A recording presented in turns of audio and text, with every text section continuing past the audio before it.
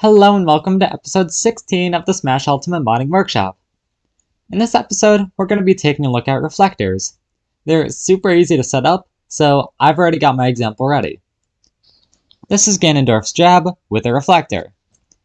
The reflector is declared on frame 18, and then it's removed on frame 14.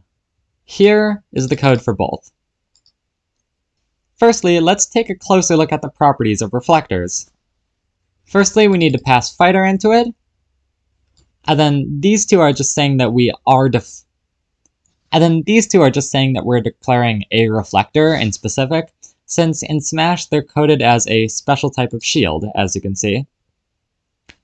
There's then an ID, meaning that multiple reflectors can be out at a time, just like hitboxes, as long as they have different IDs. Next, like a normal hitbox, you also have the bone that it's attached to and then the size, one set of coordinates and a second set of coordinates, just like normal hitboxes. Up next is the damage multiplier. In this example, if Ganon reflects a projectile that does 10%, it'll now deal 40%. This one's the speed multiplier. I have it set to 10%, so that it's super obvious if it worked or not.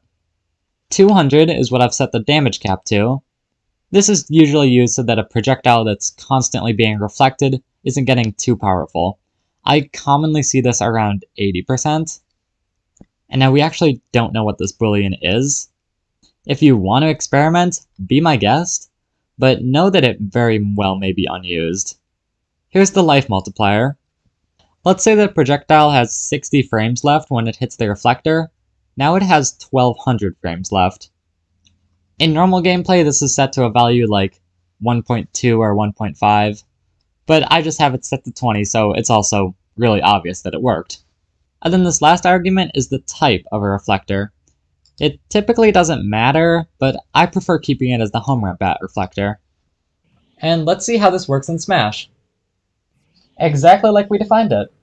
As usual, the code that I used will be available in the description under item 1, and I hope this helped. Happy modding!